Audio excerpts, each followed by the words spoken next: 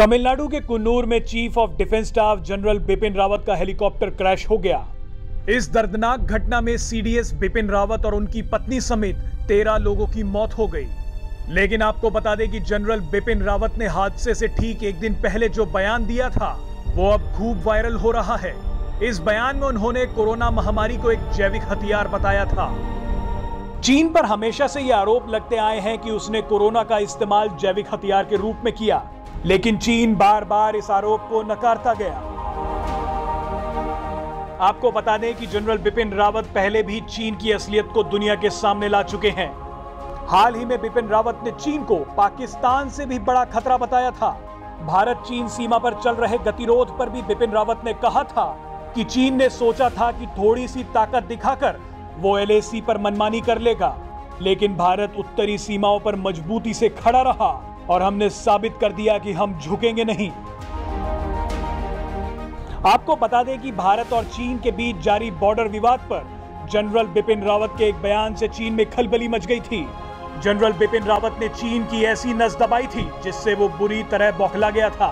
General Bipin Rawat के इस बयान से चीन अमन चैन की दुहाई तक देने लग गया था। दरअसल हाल ही में chief of defence staff general Bipin Rawat ने कहा था कि भारत के लिए सबसे बड़ा खतरा चीन है। भारत और चीन के बीच सीमा विवाद सुलझाने में विश्वास की कमी है और संदेह बढ़ता जा रहा है। बस फिर क्या था? भारत के इस बयान के बाद चीन तिल मिला गया और उसने फ़ौरन सीडीएस बिपिन रावत की बात का जवाब देते हुए तीखी प्रतिक्रिया दे दी।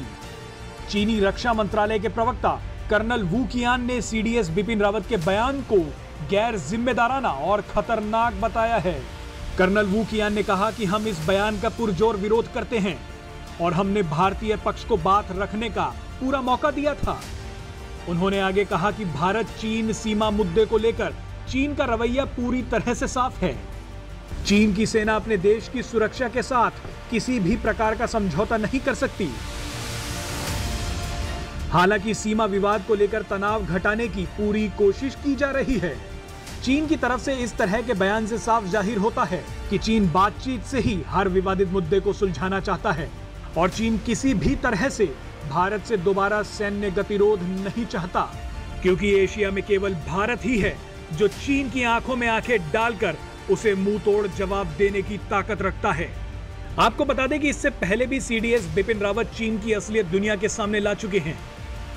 उन्होंने कुछ समय पहले कहा था कि चीन की हरकतों को देखते हुए विवादित सीमाओं और समुद्री इलाकों में भारतीय सेना को पूरे साल तैनात रहने की ज़रूरत है। आपको बता दें कि भारत ने चीन के खिलाफ ज़बरदस्त किलाबंदी कर ली है। चप्पे चप्पे पर अत्याधुनिक हथियारों को लगा दिया गया है।